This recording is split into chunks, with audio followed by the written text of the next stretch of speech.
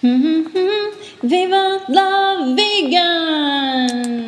Hello, I'm Leigh-Chantelle from VivaLaVegan.net and welcome to this week's question and answer series. We do this every Tuesday here on this YouTube channel.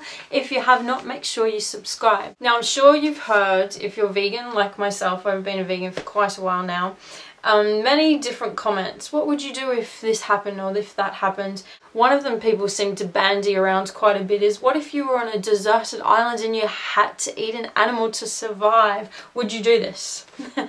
now I really, really detest hypotheticals, part one. And I honestly can't think of a reason in real life where I would actually need to eat an animal to survive. Ever.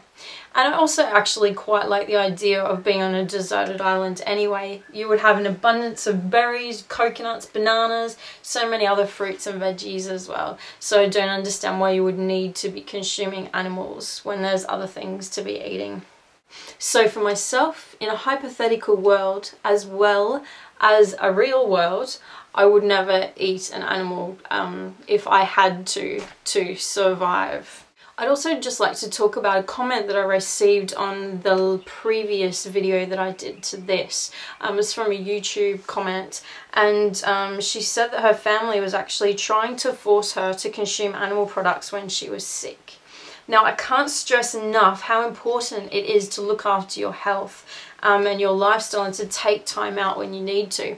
I've just been sick so sorry that you didn't get last week's video. I'll do another one on Friday to make up for it.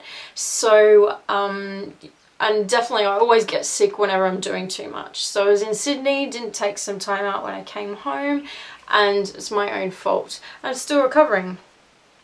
So we definitely need to take these lessons that we get from the universe and from our own bodies to heal ourselves, to rest, to rejuvenate and get back on the right track. And I'm sure you know if you're a vegan, whenever you're sick, whenever you have a sniffle, whenever something's wrong, it's because you're a vegan. And it doesn't matter about all the other people in the world that are sick because of actually what they eat and they consume. And I really think the best way to solve this is to be the healthiest version of yourself and a vegan that you can be. Know what to eat and just cut back on all the processed stuff.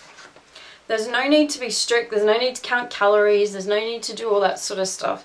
But please do look after yourselves and each other because we really won't be much good to our animal friends and the vegan movement when we're sick.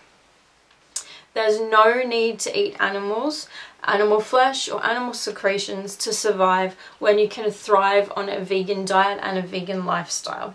Make sure you do research, find out what you need to be consuming if you're not aware, and see vivalavegan.net for more information.